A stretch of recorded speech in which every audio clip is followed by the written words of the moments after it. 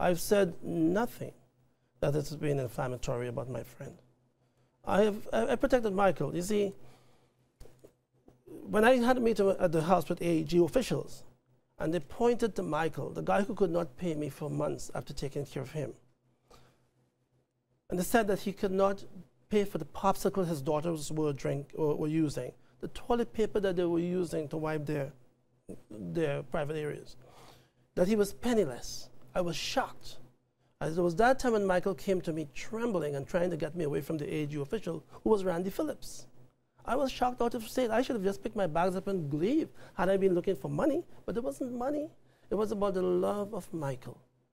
I have suffered a lot. There's no doubt about it. But I don't hate Michael. Michael did not do me wrong.